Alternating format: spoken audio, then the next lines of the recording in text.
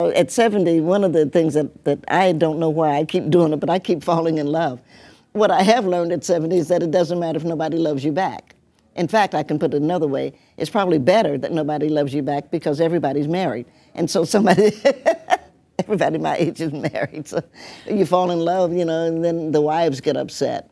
You know. Well, yeah, you probably don't want to fall in love with a married person, I suppose. Well, you have to. I mean, who else is out there?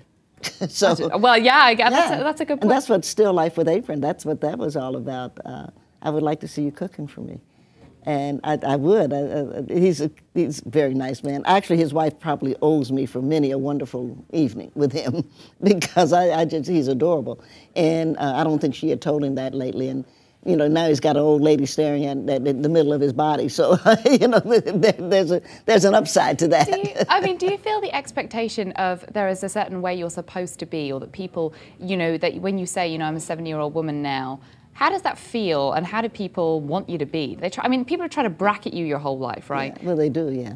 So, what is it now? I mean, how how do you kind of pivot that now? Like, I don't think I've paid much attention to what people had to say about me and uh, I've been lucky with that.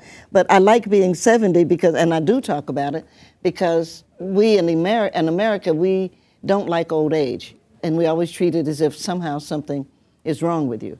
And I think that it's a good idea to grow old. I mean, we're all, you're born with an expiration date. You know, just like the milk you buy or the, you know, olive oil you have, or, you know, the wine you drink, everything has an expiration date. And so nobody needs to push it, nobody needs to make you do it, and you don't need to do it. One day you won't be here. So the time that, that you are here should be, I think, ethical. I think it should be, I think ethical makes you a good person and it makes you a giving person. And I think smiles are important. I think it's important to laugh. And I'm, I think on that level, I'm very uh, fortunate to be a black American because people talk about us as, as if we were children or something. But we have learned that laughter, as Re Reader's Digest said, laughter is the best medicine. And if you can find a way to laugh at some of these situations, you will survive it and you will have yourself.